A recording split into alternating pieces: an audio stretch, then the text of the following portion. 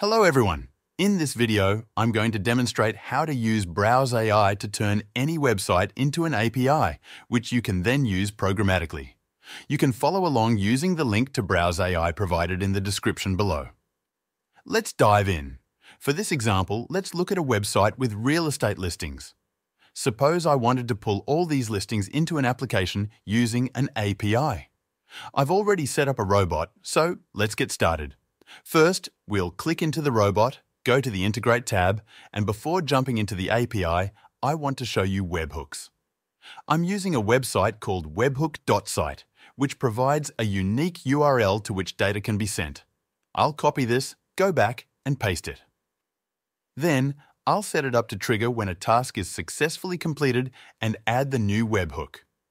This will give us a place to send the data while testing the API. Next, click on REST API and then head to the Account API page. If you don't already have an API key, create one by clicking this button. Name it whatever you like. I'll call mine Browse AI Demo and add it.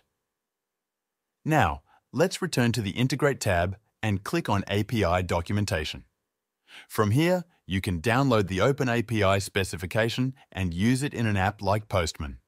I'll copy all of this open Postman and paste it in. Select the first option, Postman Collection, and import it. Once imported, I'll click the little toggle here, and you'll see a robots folder along with a couple of GET endpoints. To make it easier, I'll type run click and duplicate this run a robots endpoint, leaving the original intact. I'll rename the duplicate to something more descriptive, like API demo. Now I'll close this and find the item I just created. When I click in, there are a couple of things I need from Browse AI. First is the robot ID, which I'll copy and paste over here. I'll also give it a description, like solo listings. Next, in the Authorization tab, you'll notice that when you import the specification, it automatically uses the first API key you created. If that's not the one you want, You'll need to change it here, but for this demo, the imported key works fine. Now, let's modify the input parameters in the body. I'll go back to Browse AI to retrieve the origin URL, which is one of the necessary parameters. I'll copy and paste that. Next, I'll grab Vancouver Rentals Limits, paste that as well, and set the limit to 10.